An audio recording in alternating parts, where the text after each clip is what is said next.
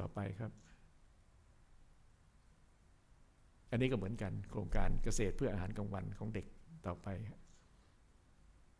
ครับต่อไป บางแห่งก็ถ้าเป็นมัธยมก็จะมีพวกเครื่องมือวิทยาศาสตร์มีอะไรต่ออะไรเนี่ย สูงขึ้นไปนะฮะต่อไป อันนี้เป็นหัตถกรรมที่เด็กทำนะฮะ หรือชาวบ้านทำก็ได้ แล้วก็จะมีคนไปไปซื้อเพื่อจะเอามาออกมาขายที่ร้านภูฟ้าทั่วประเทศต่อไป อันนี้ก็เป็นผู้หลักผู้ใหญ่ที่มาสอนเด็ก เด็กก็จะลงมือทำเองต่อไป แล้วก็มีวิชาช่างให้เด็ก อันนี้ก็มักจะเป็นปฐมปลายละ มีวิชาซ่อมจักรยานยนต์ ตัดผมอะไรต่ออะไร เด็กผู้ชายเขาจะได้เรียนวิชาเหล่านี้ ต่อไปครับ อันนี้ของอันนี้อีกอันหนึ่งอันนี้ของอาจารย์เกษมเขาที่ที่แหลมฝักเบี้ยแหลมฝักเบี้ยเรื่องเรื่องการกำจัดน้ำเสียอยู่แถวเนี้ยแถวหัวหินต่อไปฮะต่อไปฮะอันนี้ก็เป็นเด็กที่เด็กนักเรียนทุนฮะเป็นอีกที่หนึ่งเหมือนกัน ต่อไปฮะต่อไป อันนี้เป็น เยี่ยมราษฎรที่มาเฝ้า นี่จะอยู่ในเต็นท์ที่เป็นหน่วยแพทย์เคลื่อนที่หน่วยแพทย์พระราชทานเคลื่อนที่ พอท่านทรงตรวจทุกโครงการในโรงเรียนแล้ว ตอนจะเสด็จออกจากโรงเรียนเนี่ยก็จุดสุดท้ายก็จะมาที่นี่ มาเยี่ยมรัษฎรด้วยรัษฎรก็จะมากันตั้งแต่เช้าเลย แล้วใครที่ไม่สบายอะไรปวดฟันอะไรก็พักตรวจเสร็จก็รอส่งเสด็จนะท่านก็เสด็จมาเยี่ยม ชุดขาวที่ยุงหลังก็เป็นหมอที่เขาตรวจตอนเช้าต่อไป แล้วก็จุดสุดท้ายกิจกรรมสุดท้ายก็คือ ฉายพระรูปร่วมกับนักเรียน แล้วก็ครูตชดนะฮะครูตชดกับนักเรียนก็จะมาฉายพระรูปร่วมกัน ต่อไปครับต่อไป อันนี้ก็เป็นผลงานนักเรียน แต่อันนี้ระดับมัธยมแล้ว ระดับมัธยมก็หลายแห่งนะผมไม่ได้พูดถึงนะครับ มีหลายแห่งต่อไป โครงการวิทยาศาสตร์บ้างโครงการธรรมชาติวิทยาโครงการอะไรเยอะแยะต่อไปครับต่อไปอันนี้เป็นปอเนาะโรงเรียนปอเนาะที่ทางใต้ แล้วก็เป็นโรงเรียนเอกชนสอนศาสนาอิสลามด้วย ตอนนี้เนี่ยคือคืออันนี้ก็เป็นเรื่องความเข้าใจของแต่ละฝ่ายนะครับ คือหลายโรงเรียนเนี่ยก็ยังไม่ยอมสอนภาษาไทย แล้วตอนหลังเนี่ยก็เราทำยังไงให้เขาเห็นว่าเป็นประโยชน์ ตอนหลังก็เขาก็สมัครใจเรียนภาษาไทยเอง ก็สามารถจะเอาสามัญเนี่ยเข้าไปสอนได้ เดิมจะสอนเฉพาะภาษาอาหรับ แล้วก็สอนอัลกุรอานนะแต่ตอนนี้ก็ทำกันได้เรียบร้อยละพูดจากันเข้าใจละก็เอาภาษาเอาปฐมมัธยมก็ไปสอนนะฮะ แล้วเด็กจบแล้วก็ก็มีทางต่ออาชีพเหมือนเด็กชาวเขาเหมือนกัน เหมือนเด็กพวกเราเหมือนกัน ต่อไปครับ อันนี้เป็นส่วนมากจะเป็นโรงเรียนที่อยู่ในพระราชูปธรรมต่อไป อันนี้เป็นพวกแม่บ้านที่มาช่วยเป็นเข้าเวรทำอาหาร ตอนนี้มาเฝ้า ต่อไป ครับต่อไปนะอันนี้เป็นสหกรณ์ร้านค้าสหกรณ์โรงเรียนนะจะเป็นรูปร่างอย่างเงี้ยแล้วเด็กสองคนนั้นจะเป็นกรรมการสหกรณ์ส่วนข้าราชการข้างหลังนี่ก็เป็นข้าราชการของกรมตรวจบัญชีสหกรณ์บ้างอะไรอะไรบ้าง กรมส่งเสริมสหกรณ์บ้างต่อไป ครับก็ผมคิดว่า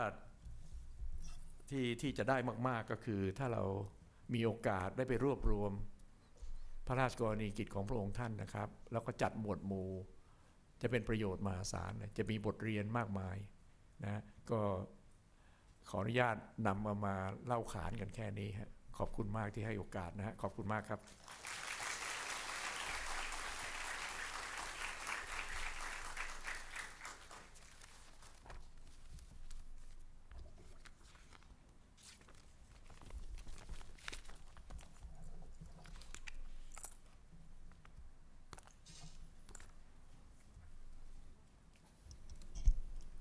ค่ะ ขอกราบขอบพระคุณพระท่านองคมนตรี ศาสตราจารย์เกียรติคุณนายแพทย์เกษมวัฒนาชัยเป็นอย่างสูงนะคะ ก็หลังจากที่เราได้รับฟังนะคะปาฐกถาพิเศษ พระราชกรณียกิจ ด้านการศึกษาของสมเด็จพระเทพรัตนราชสุดาสยามบรมราชกุมารีไปเรียบร้อยแล้วนะคะ ซึ่งก็กิจกรรมในลำดับต่อไปนะคะ ก็ขอให้ทุกท่านอยู่ที่นี่ก่อนนะคะ เพื่อที่เราจะชมการแสดงโดยคณะนักร้องประสานเสียง สมาคมสร้างคุณค่าในประเทศไทยค่ะ ซึ่งที่ฉันขอกล่าวแนะนำเพลงนะคะ ซึ่งจะแสดงในลำดับต่อไปนะคะ หลังจากที่พักแล้วค่ะ จะมีเพลงขับร้องประสานเสียงทั้งหมด 5 เพลงนะคะ นั่นคือเพลง The ASEAN Way ซึ่งเป็นเพลงเนื้อร้องภาษาไทยค่ะ แล้วก็เพลงพระราชนิพนธ์แววหรือ Echo ซึ่งเป็นเพลงพระราชนิพนธ์ในพระบาทสมเด็จพระปรมินทรมหาภูมิพลอดุลยเดช และเพลงที่ 3 นะคะ เพลงงานไทย เพลงที่ 4 เพลงเจ้าพยา และเพลงที่ 5 เพลงพระราชนิพนธ์รักค่ะ ซึ่งก่อนที่ค่ะหลังจากขอขอบขอบพระคุณท่านพนักท่านองคมนตรีศาสตราจารย์เกียรติคุณนายแพทย์เกษมวัฒนาชัยอีกครั้งหนึ่งนะคะ และในโอกาสนี้ดิฉันขอกราบเรียนเชิญ ศาสตราจารย์เกียรติคุณ คุณหญิงไขศรีศรีอรุณ ที่ปรึกษาคณะกรรมการบริหารศูนย์มนุษยวิทยาสิรินทร ขึ้นมอบของที่ระลึกแด่พระนาท่านองคมนตรีค่ะ ขอกราบเรียนเชิญค่ะ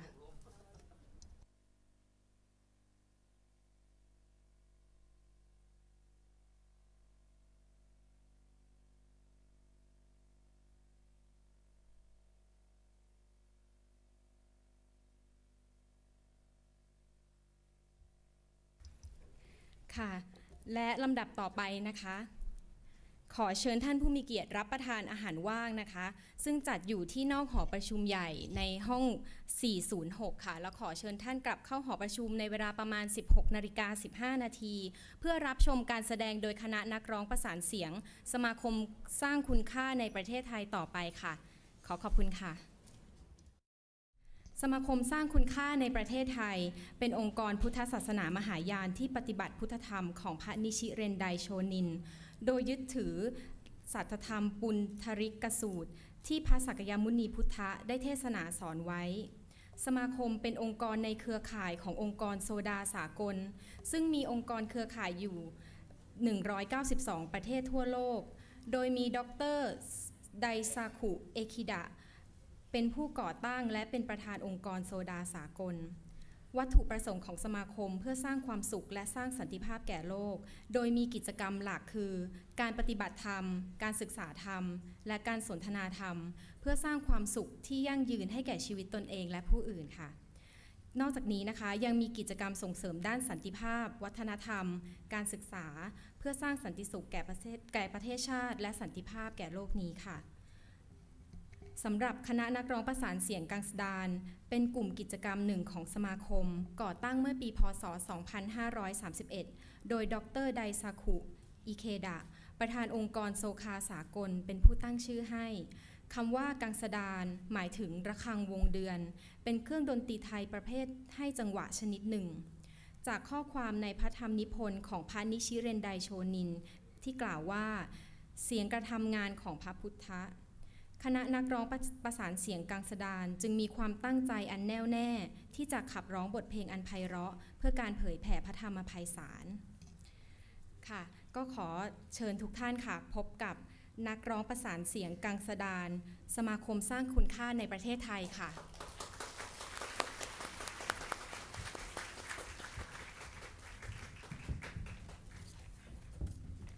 และในโอกาสนี้ค่ะ ดิฉันขอกล่าวแนะนำเพลงที่จะขับร้องประสานเสียงในวันนี้เป็นจำนวน 5 เพลงนะคะ เพลงแรกชื่อเพลง The ASEAN Way เป็นเพลงประจำของกลุ่มประชาคมอาเซียนที่จะเริ่มอย่างทางการในปี พศ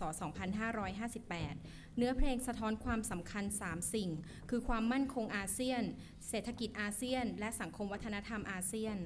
เพลงที่ 2 เพลงพระราชนิพนธ์แววหรือเอ็กโค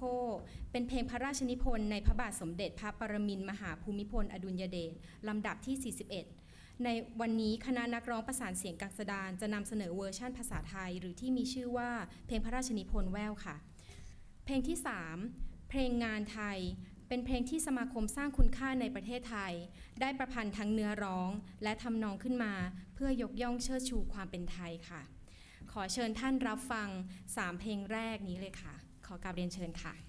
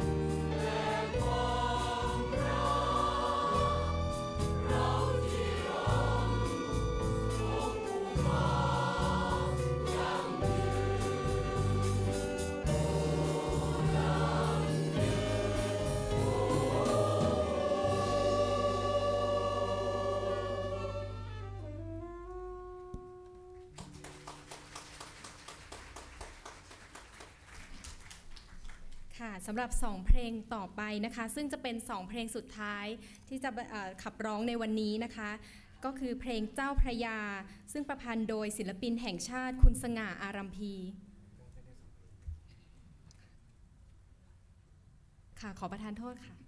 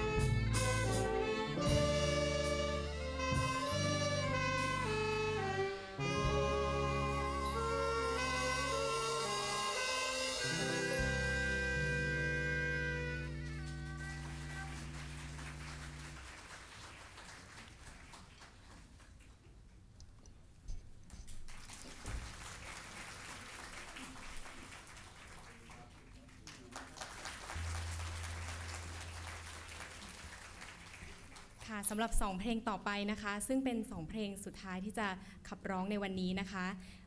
เพลงแรกค่ะคือเพลงเพลงต่อไปนะคะ คือเพลงเจ้าพระยาค่ะ ซึ่งประพันธ์โดยศิลปินแห่งชาติ คุณสง่าอารัมพี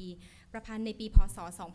2514 ซึ่งเพลงนี้นะคะได้บรรยายถึงความยิ่งใหญ่ของแม่น้ำเจ้าพระยา ที่เป็นศูนย์รวมจิตใจของคนไทยค่ะ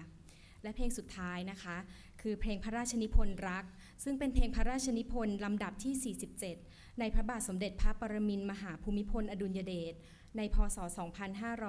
2537 ค่ะ โดยเนื้อเพลงนั้นสมเด็จพระเทพรัตนราชสุดา สยามบรมราชกุมารี ทรงพระราชนิพนธ์ไว้เมื่อพระชนมายุเพียง 12 พรรษาค่ะ ขอเชิญรับชมรับฟังได้ค่ะ ขอบพระคุณค่ะ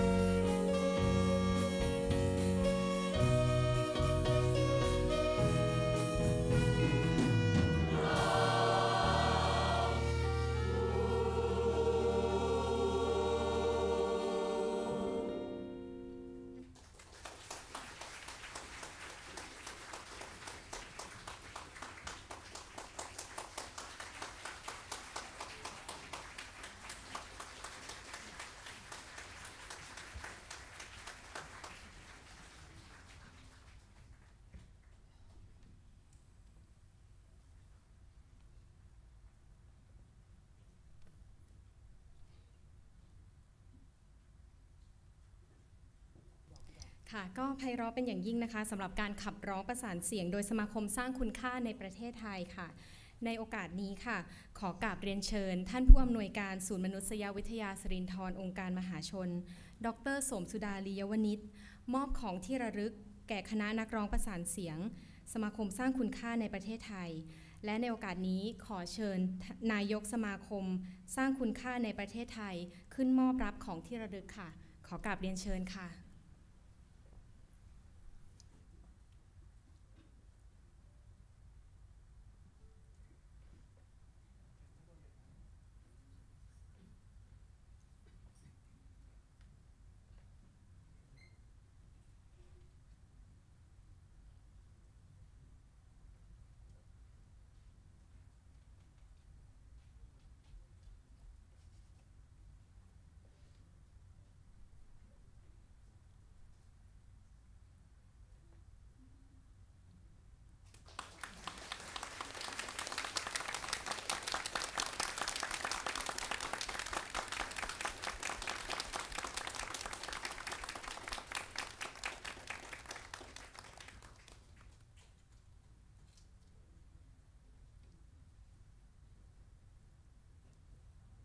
ค่ะ และขอกราบเรียนเชิญ พระนาท่านองคมนตรี ศาสตราจารย์เกียรติคุณนายแพทย์เกษมวัฒนาชัย ศาสตราจารย์เกียรติคุณคุณหญิงไขศรีศรีอรุณ นายวีระโรจนะโรธพจนารัตน์นายศักดินาฉัดกุลณอยุธยา ขึ้นบนเวทีเพื่อถ่ายรูปเป็นที่ระลึกค่ะ